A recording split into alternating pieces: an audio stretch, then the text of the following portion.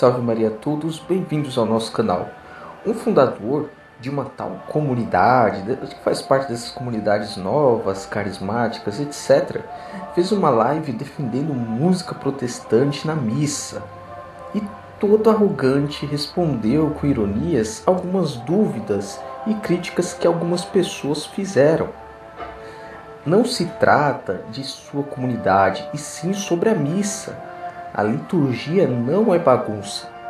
Não é todo tipo de música e qualquer música que se pode tocar na missa, ainda mais músicas protestantes.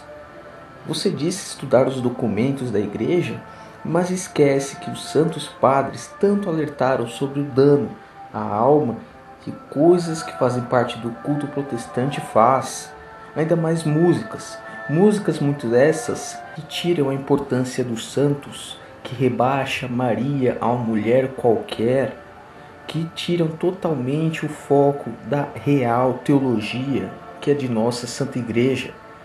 Em vez dela, colocam suas teologias de nove mil seitas, etc.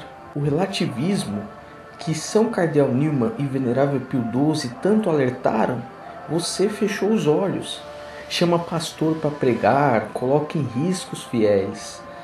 Em breve você vai estar tá chamando o que? Pai de santo, pessoa do Islã para pregar, judeu e etc. Isso é um absurdo. Um pastor não acha que Nossa Senhora seja santa.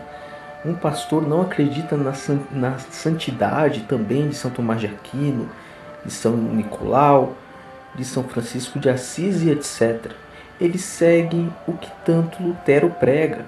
Lutero foi inimigo da Santa Igreja. Vocês carismáticos acabam entrando nesta dança dos inimigos da Igreja, os verdadeiros inimigos. Precisamos chamar essas pessoas à conversão, não chamar elas para tocar em missa, e tocar músicas protestantes na missa. Muitos e muitos bispos e padres já condenaram isso. Música protestante não se toca em missa. Assim como também eles não, a maioria deles não vão querer também escutar sobre nossa teologia, sobre nossos ensinamentos.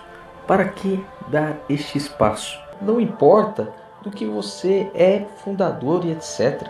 A Santa Igreja Católica tem dois mil anos e se você pisa esses dois mil anos de ensino para agradar pastor, protestantes, etc., você está errado.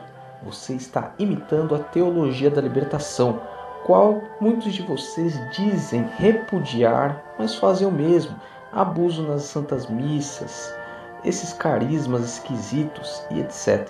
Trágico fim em que se anda a igreja e todas essas comunidades que deveriam servir para evangelizar e pregar a tradição, não ficar entregando tudo nas mãos de pessoas que participam destas seitas protestantes.